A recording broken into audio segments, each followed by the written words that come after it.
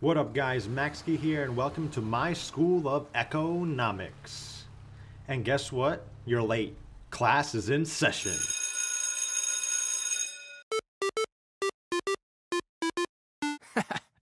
You never see this coming. What up class? This is Ekkonomics 8.2. This is my new series. Every time there's going to be a huge change to Ekko regards to a buff or nerf or an item change or a rune change or just overall anything that happens to Ekko in one of these patches for League of Legends, I'll make a video on it.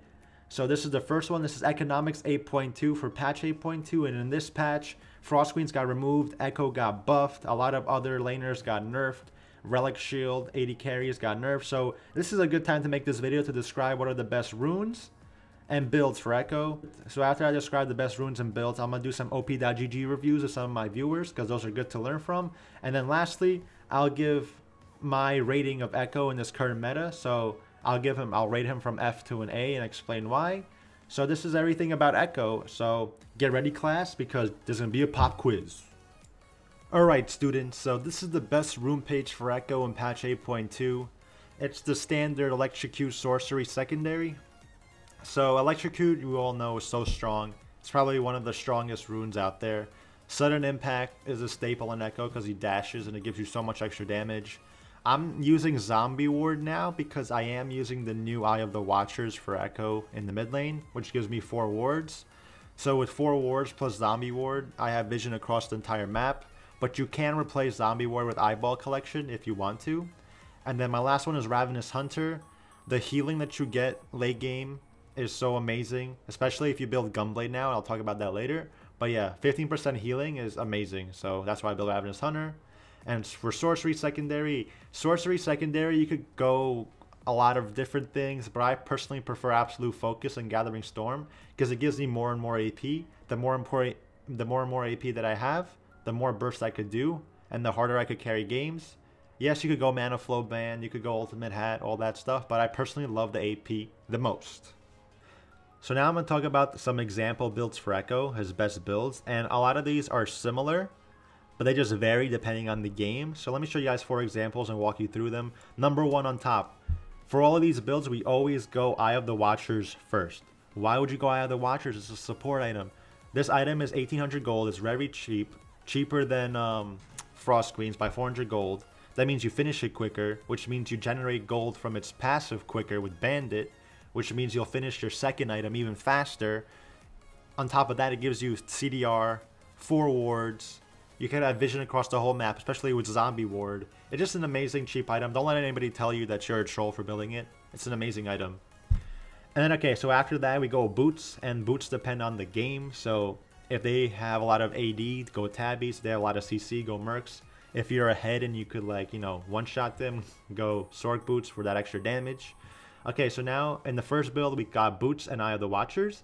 And now, sometimes I build Lichbane. Lichbane is a strong second item. The reason I don't build Proto Belt anymore is because is because since Eye of the Watchers is less AP now by like 25 or something like that, that means if I build Proto Belt, I only get 60 AP. So it kind of makes me weaker. But if I build an item like Lichbane, which has on-hit damage, which is really strong, plus 80 AP, plus movement speed, plus CDR. It's a really good second item to get now. And then after that, in this game, I built Liandry's Torment because the enemy team had a lot of HP champions. So they have a lot of HP heavy champions like a Cho'Gath or someone who's building Black Cleaver, Titanic Hydra. And there's like, you know, like tanky people. Then I usually go Liandry's Torment. And then Zhonya's is always good to buy if you for utility and if they have a lot of AD. So let's talk about the second build. Second build, same thing. We went Eye of the Watchers, and we went Sorc Boots. Also went Lichbane, but this time we built the Void Staff. Why, why did we build Void Staff? Because they didn't have a lot of HP crazy champions. They had a lot of squishy, low HP champions, so Void Staff works really well for those. Especially if they build MR also. And then after that, we went uh, Zhonya's again. It's good for armor, AP, utility. And then we go Blasting Wand next. That was probably going to be for a Death Cap. The third build, Eye of the Watchers again, Sorc Boots again, we went Lichbane again, but this time we went Death Cap after because we were snowballing. And if you want to snowball that lead as hard as you can, you go Death Cap, even, you, even if you want to go Mejai's after.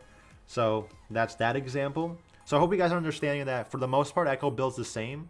you just switch the beginning items or like mid game items, their order depending on what you need for the moment. If you need more armor, go Zhonya's.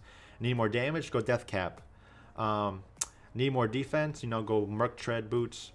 Need more defense, go Tabbies. Like it, it depends on the game for what you build. And lastly, this is the new experimental build that St. Killian has been doing quite a bit and I've been trying out also. I used to tell myself I would never build Gunblade, but uh, Gunblade actually works really well with this new item. So basically you finish Eye of the Watchers, you go whatever boots you need for the game, and then you start building Gunblade. So Gunblade is really strong right now because Ekko did get his 10% attack speed buff, so now he could auto attack quicker, so that's good for the AD that it gives you. 80 AP is equivalent to the Lich Bane's AP, so you still get strong. It gives you its point and click like 200 damage passive, which is crazy good. And it's like substitute the slow that you lost from Frost Queen's Ghosties. So yeah, it's a really strong item right now. And on top of Ravenous Hunter 15% healing, when you fully stack it, with Gunblade 15% healing, you're getting 30% of your damage done for healing. Imagine doing a, a thousand damage ult. On top of gaining all the HP you gain back, you'll probably get a good 300 HP just from Gunblade and Ravenous Hunter. So you, you heal crazy amounts. And then after that, you could go Lich Bane, or you could go Death Cap, or Void Staff, depending on the game.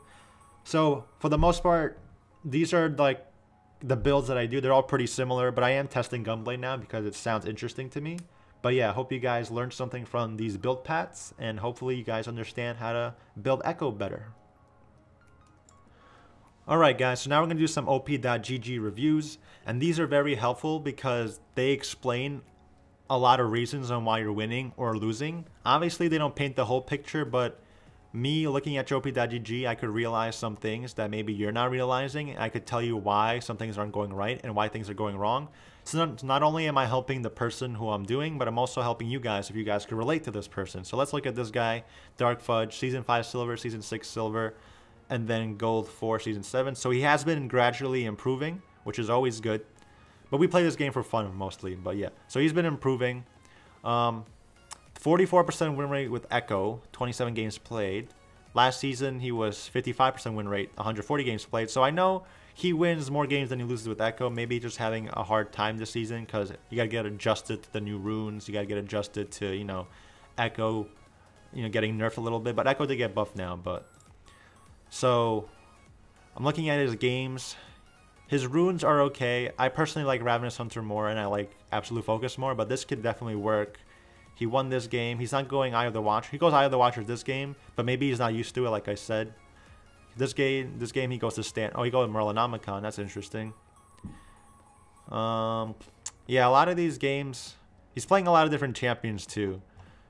So considering that he had a high win rate with Ekko, oh, and Gangplank, every other champion he's been losing with, so what I recommend, like, see, he played 10 games with Garen and lost seven of them, and that would literally make his win rate almost 50% if he got those seven uh, losses removed.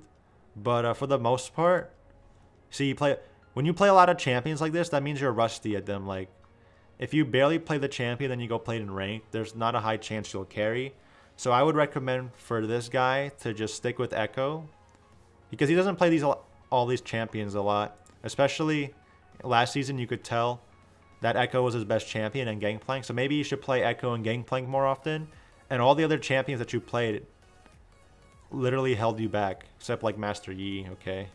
But for the most part, playing other champions has been holding you back because you have a lot of losses with not your main champions. And I'm pretty sure your Ekko will improve later.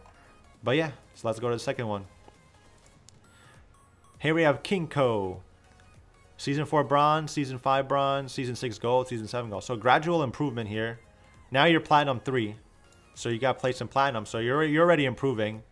Not a lot of games, 22 games this season. let's see what's happening here. A great win rate with Ekko. Nice KDA. Great win rate with Malphite. One game with Evelynn. Eh, one game with Kayn. One game with Diana. Going, um... You don't really play... Well, you don't. You barely have any you you have 22 games played and you already played five different champions. Maybe just stick to these two. Let's see this season, season seven. See, yeah, Ekko is your highest win rate. So I, I say just stick to Ekko. Obviously, sometimes it gets boring to play Ekko all the time, but if you're winning with Ekko and you want to climb the rank, just stick to Ekko and play all these other champions in like normals. Um, you go Klepto Ekko. Klepto Ekko got nerfed, so I don't think it's that good anymore. So I would recommend go back to Electrocute.